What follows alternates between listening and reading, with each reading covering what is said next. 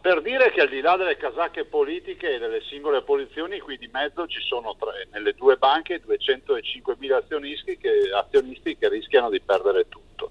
E penso sia doveroso un intervento autorevole da parte del governo, la Regione se, se può farà sicuramente la sua parte, e visto e considerato che non possiamo dilapidare un patrimonio così importante nelle famiglie dei venti. Ecco, che strada secondo lei bisogna eh, intraprendere?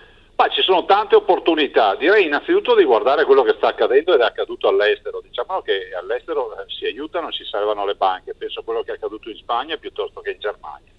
Dall'altro la necessità di agire sul fronte delle garanzie e di pensare che eh, i risparmiatori, che qualcuno giustamente definisce azionisti, cioè coloro che hanno le azioni ma che vivevano da veri e propri piccoli risparmiatori, non possono vedere dilapidato la, la quasi totalità del capitale investito.